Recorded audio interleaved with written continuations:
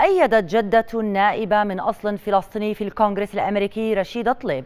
قرار حفيدتها رفضها شروط حكومة الاحتلال لزيارة عائلتها في الضفة الغربية وذلك على الرغم من اشتياقها لحفيدتها التي لم ترها منذ 13 عاما. وقتاش تجي رشيدة؟ يوم اشتقتي لها؟ اشتقت لها. منذ لحظة وصول خبر زيارة حفيدتها النائب الفلسطينية في الكونغرس الأمريكي رشيدة طليب لفلسطين. والحجة مفتية لم تتمالك نفسها من الفرحة. فبدأت بالتحضيرات لاستقبالها هنا في بيت عور غرب مدينة رام الله المحتلة.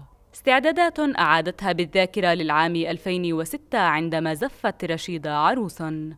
حضر لها كل شيء. اوجع رأسي وأنا أقول حضر. حضر خروف. ومن هين طلعت؟ واخذنا رام الله على الكاعة سوينا لها عرس وانبسطنا. إلها زمان متجوزة لها ولدين لكن دونالد ترامب وبنيامين نتنياهو تواطؤا معا لكسر قلب هذه الجدة البالغة من العمر تسعين عاما والتي تدعو الله أن يمد بعمرها يوما واحدا تلتقي فيه برشيدة. زيارة انتظرتها على أحر من الجمر. لكن قرار المنع عاد عليها بآثار نفسية وصحية صعبة. أنا خلص هلقيت لا يعطوني شلة ما يركب أروحش حبيت الشمير.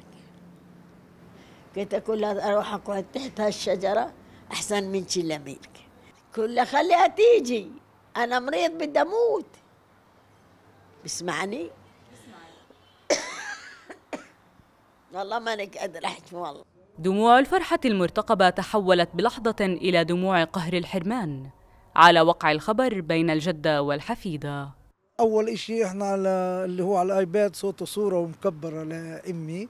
وأمي طبعا ما هو سمعها شوية عكدها يعني.